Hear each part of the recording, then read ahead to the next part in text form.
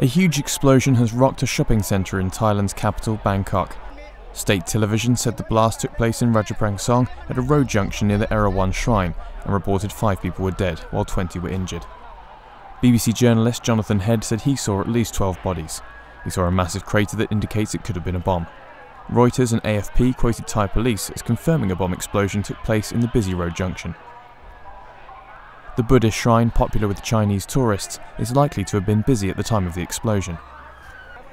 An AP reporter said he saw one body and body parts, and two people were taken into ambulances.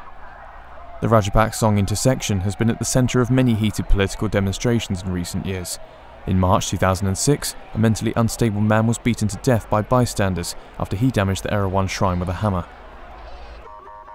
Police and ambulances rushed to the scene after the bomb went off at around 7pm local time. Local police said the bomb could have been hidden in a motorcycle.